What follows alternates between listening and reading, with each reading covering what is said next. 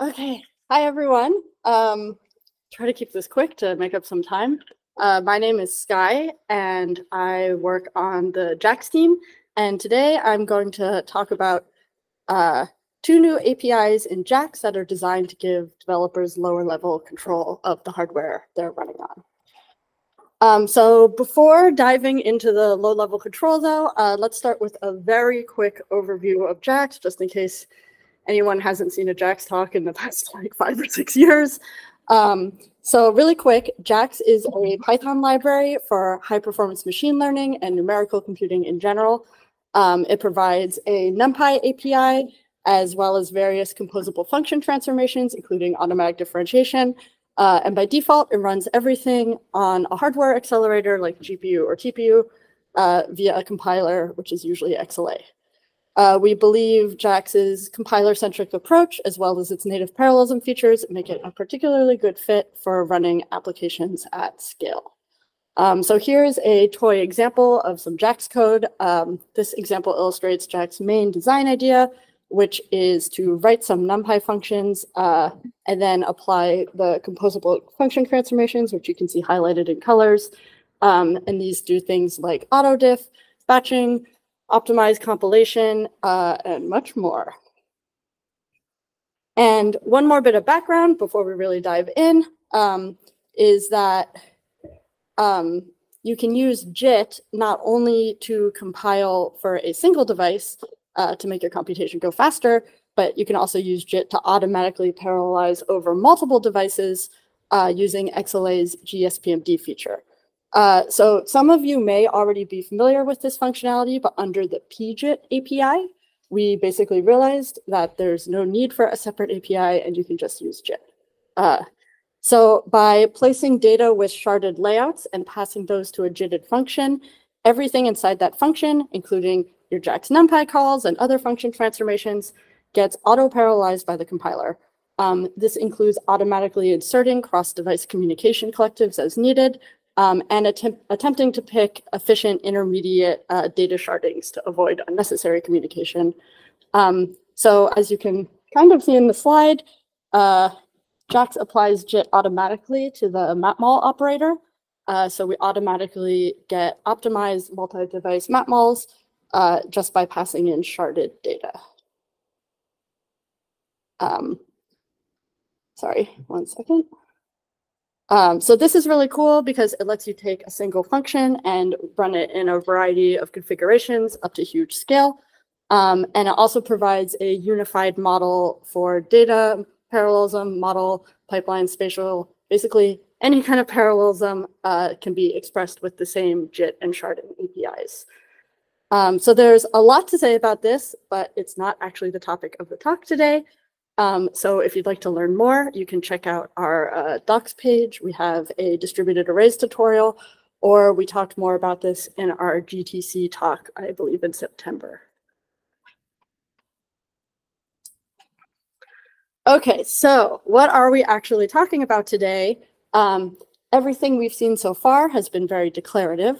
You write a NumPy function, uh, and XLA take care of the rest. Uh, this has worked really well so far uh, and is still a great option for many use cases. Uh, but sometimes for really specific and performance critical functions, uh, power users may want more control over what's executed on the hardware. For example, JAX users have recently been experimenting with different variants of flash attention and its gradient, and it may not be practical in all cases for the compiler to pattern match that kernel in order to emit optical code, uh, optimal code uh, and it can also be hard for the compiler to decide how much numerical instability is like okay to insert for this application. Um, so in these cases, uh, while compilers like XLA are amazing for providing impressive out-of-the-box performance across a wide range of applications, you occasionally need an escape hatch. Um, and that's why we'd like to give JAX users more control when they want it in an easy-to-use way. Um, that also works well with existing JAX functionality, so you can drop into these lower level interfaces when it makes sense, but without having to give up all of JAX's and XLA's other great features. Okay, so there's two JAX APIs that I'm going to highlight today. Um, the first is ShardMap, which is the successor to PMAP, if you've heard of PMAP, um, and allows for per device programming instead of relying on the compiler to shard the computation for you and insert communication primitives for you. Um, the second API I'm going to talk about today is Pallas, which is a new kernel authoring API integrated with JAX that offers even lower level control uh, that mostly bypasses the compiler altogether. So let's get started with shard map. Shard map, aka SHMAP, which is a lot more fun to say, um, is the successor to PMAP, like I mentioned. Uh, so it gives you a slightly more advanced way to write a single function that is then invoked on multiple devices or accelerators, uh, with each device receiving a different shard of the input data, like in the picture. Um, so basically a souped up parallel map. Uh, so here, uh, we're going to have an example of shard map. I'm not going to get too much into the details of this example. It's actually like a little bit complicated in order just to show you what is possible with shard map especially compared to PMAP. Um, so unlike PMAP, ShardMap lets you express multiple axes of parallelism at the same time. Um, so you can see at the top here, first we define uh, a mesh, which is two-dimensional in this example.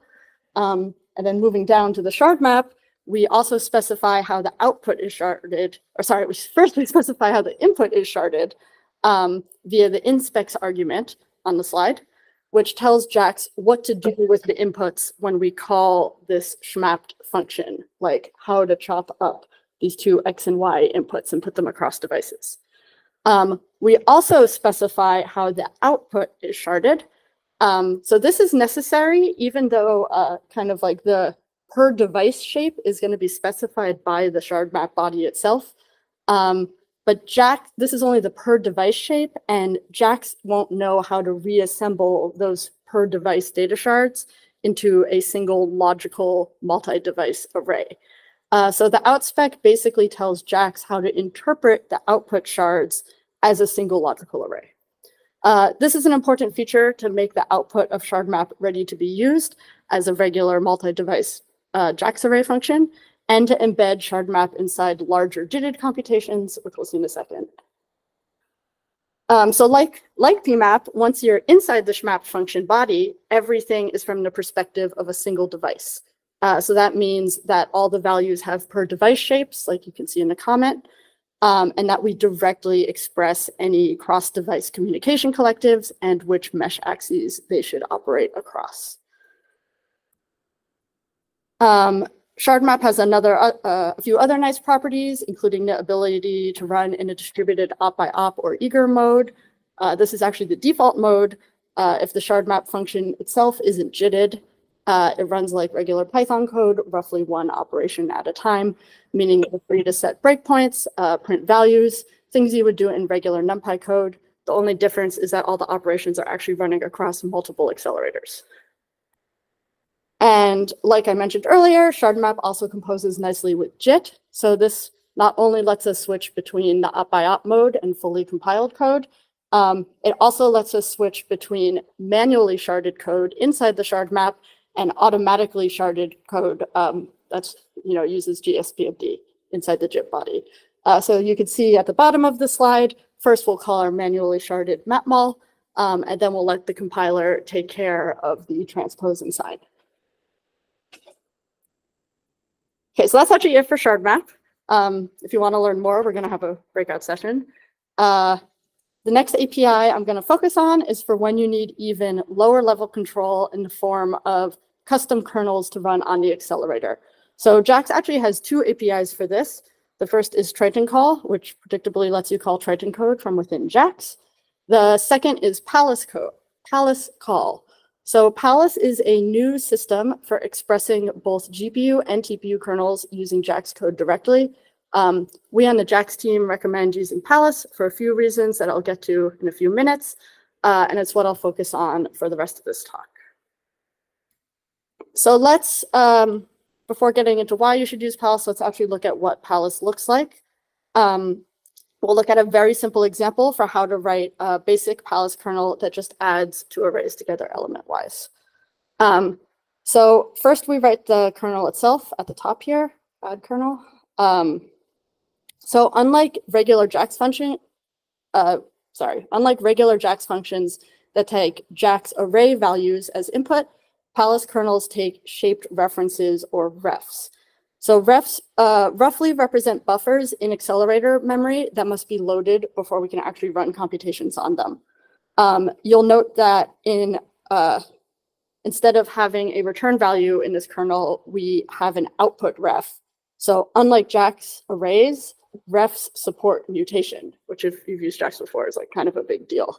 Um, the overall idea of refs is to give us fine grained control over the memory accesses in the kernel, which is kind of a more inherently stateful thing. Um, so in this example, uh, once we're inside the kernel, we're first going to load those uh, X and Y refs and get the actual values we can use. We load them using regular NumPy indexing. So in this case, we're just going to load the entire X and Y values. Um, we can then use regular JAX NumPy operations on the loaded values. Um, in this case, it's just a simple add, but you can go crazy here, uh, including using VMAP and JVP.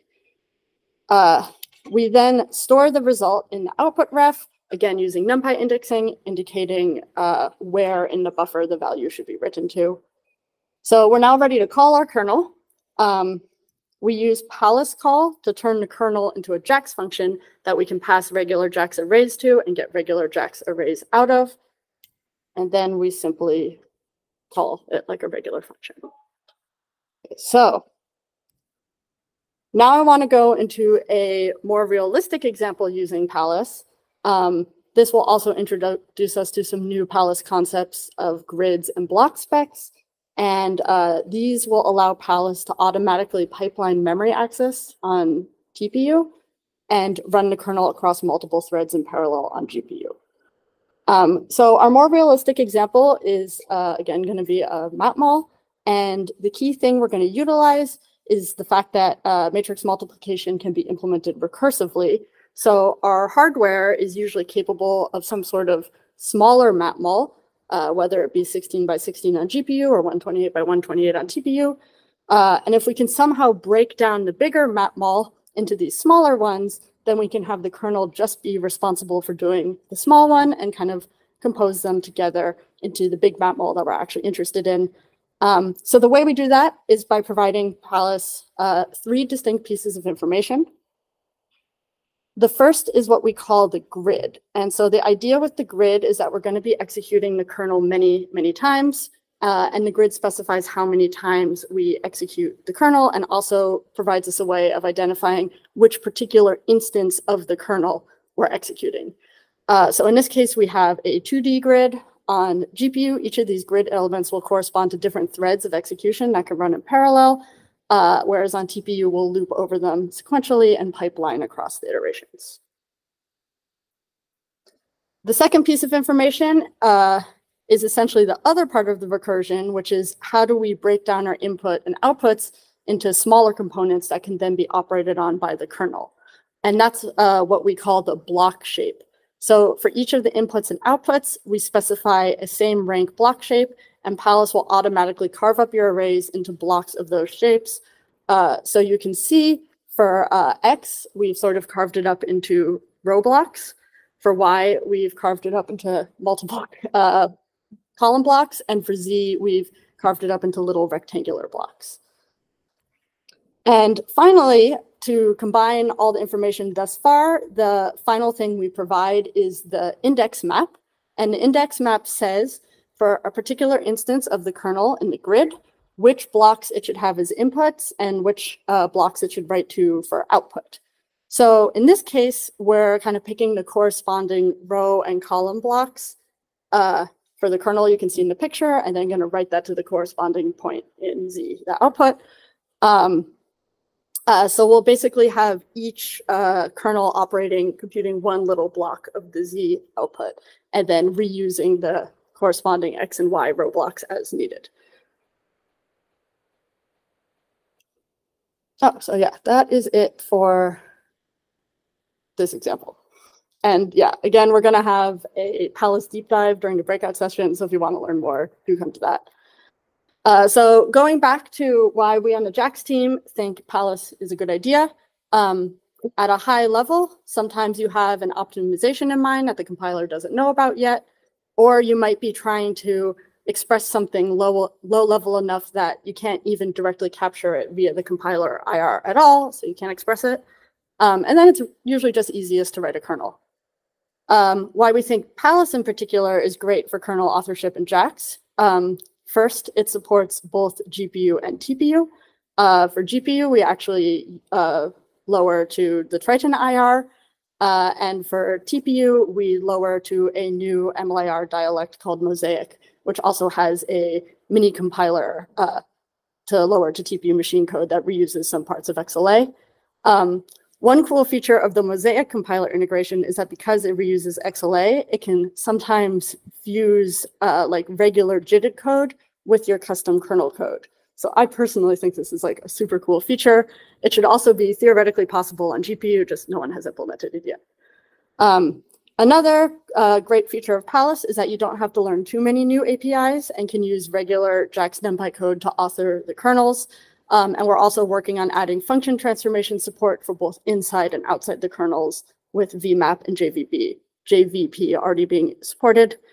Um, there's an eager, emu eager emulation mode using regular XLA HLO that you can use for debugging.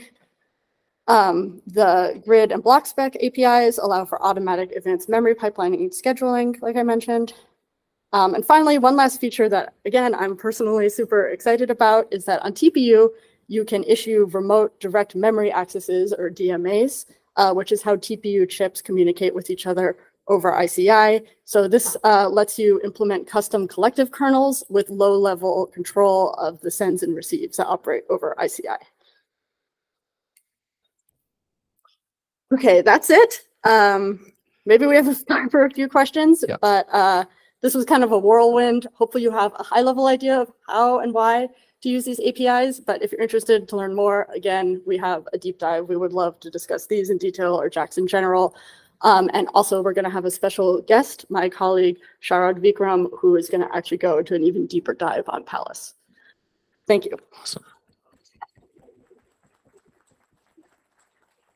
We're going to try to keep it to one question just to move things along. Um, and then if you have questions, obviously you can join the breakout session.